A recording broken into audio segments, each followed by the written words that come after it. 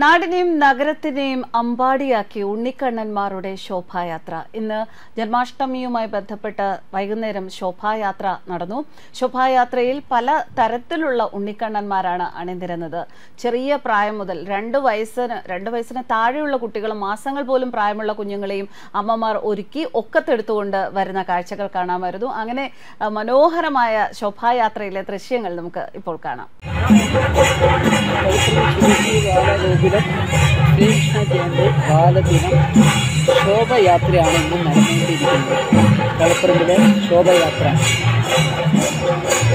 ഇന്ന് നല്ല രീതിയിലുള്ള വേഷങ്ങൾ ശ്രീകൃഷ്ണന്റെ വേഷങ്ങൾ കെട്ടിയാണ് ഒരു ഒന്നര വയസ്സുള്ള കുട്ടികളുടെ മുതലാണ് ഒരു പത്ത് വയസ്സ് താഴെയുള്ള കുട്ടികൾ വരെയാണ് വേഷ സംവിധാനങ്ങൾ ചെയ്തിരിക്കുന്നത്. ഈ ഘോഷ ശോഭയാത്ര കാണുവാൻ വേണ്ടി റോഡിന്റെ ഇരു സൈഡുകളിലും കണ്ടമാന ജനങ്ങൾ തിങ്ങി നിറഞ്ഞ സന്തോഷമായിട്ടാണ് ഇത് കണ്ടുകൊണ്ടിരിക്കുന്നത്.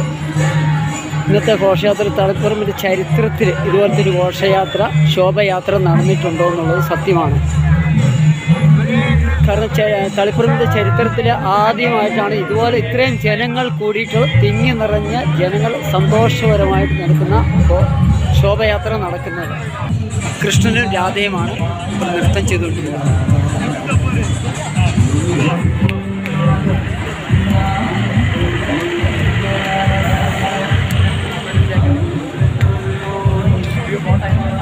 മൂന്ന് വയസ്സ് പ്രായമുള്ള ഒരു കുട്ടിയാണ് കൃഷ്ണന്റെ വേഷം കെട്ടി ഈ ഇതിന്റെ അകത്ത് ഇരിക്കുന്നത്.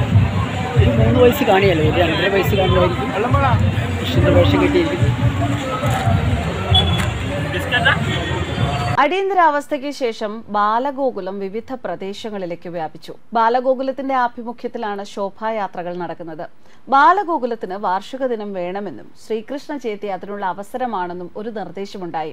ശോഭായാത്രകളുടെ തുടക്കം ആയിരത്തി തൊള്ളായിരത്തി എഴുപത്തിയേഴിലാണ് തളി സാമൂതിരി സ്കൂളിൽ നിന്ന് തുടങ്ങി നഗരം ചുറ്റി അന്ന് അത് അവിടെ തന്നെ അവസാനിച്ചു. നഗരത്തിന് പുതുമ പകർന്ന ഈ ശോഭായാത്രയാണ് പിന്നീട് സംസ്ഥാനം മുഴുവൻ വ്യാപിച്ച ശോഭായാത്ര.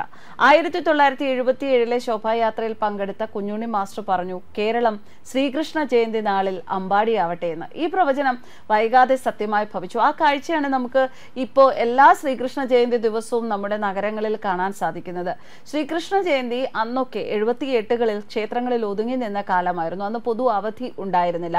ആയിരത്തി തൊള്ളായിരത്തി എഴുപത്തി എട്ടിലെ ശ്രീകൃഷ്ണ ജയന്തി സാംസ്കാരിക സമ്മേളനത്തിൽ വെച്ച് post master general M M Nair Bhagavadgita stamp പുറത്തിറക്കി. ആയിരത്തി തൊള്ളായിരത്തി എഴുപത്തി എട്ട് എന്ന് പറയുന്നത് ബാലഗോകുലത്തിന്റെ ചരിത്രത്തിൽ ഒരു സുപ്രധാന വർഷമാണ്. പാഠ്യപദ്ധതി തയ്യാറാക്കിയതും പ്രാർത്ഥനാഗീതവും മംഗളാശ്ലോകവും ഒക്കെ തീരുമാനിച്ചത് ആയിരത്തി തൊള്ളായിരത്തി എഴുപത്തി എട്ടിലാണ് പ്രശസ്ത കവി എൻ എൻ കക്കാടാണ് കരുണാമുരളീധാര എന്ന പ്രാർത്ഥനാഗീതം എഴുതിയത്. പ്രാർത്ഥന ചൊല്ലാനുള്ള ഒരു മത്സരം വെച്ചു. അതിൽ തളി ടാഗോർ ബാലഗോകുലത്തിലെ ഒരു പെൺകുട്ടി പാടിയ ട്യൂണാണ് അംഗീകരിക്കപ്പെട്ടത്. സർവേ സർവേബി സുഖിനസന്തു എന്ന മംഗള ശ്ലോകവും അംഗീകരിച്ചു. ശോഭായാത്രയിൽ പങ്കെടുക്കുന്ന കുട്ടികൾക്കെല്ലാം പ്രസാദം നൽകണം എന്ന കുഞ്ഞുണ്ണി മാസ്റ്ററുടെ നിർദ്ദേശവും സ്വീകരിക്കപ്പെട്ടു. ജന്മാഷ്ടമി ഒഴിവു ദിനമാക്കണം എന്ന ആവശ്യം ആയിരത്തി തൊള്ളായിരത്തി എൺപത്തി ഒൻപതിൽ സംസ്ഥാന സർക്കാർ അംഗീകരിച്ചത് ബാലഗോകുലത്തിന്റെ നേട്ടമാണ്. ഇക്കുറി സംസ്ഥാനത്തൊട്ടാകെ ആർഭാടങ്ങൾ ഒഴിവാക്കി ഭക്തിസാന്ദ്രമായിട്ടായിരുന്നു ശോഭായാത്ര. എല്ലാ സ്ഥലങ്ങളിലും ശോഭായാത്ര ആരംഭിച്ചപ്പോൾ വയനാട് ദുരന്തത്തിൽ ജീവൻ നഷ്ടപ്പെട്ടവർക്ക് ശ്രദ്ധാഞ്ജലി അർപ്പിച്ചുകൊണ്ട് അനുശോചന സന്ദേശവും വായിച്ചു.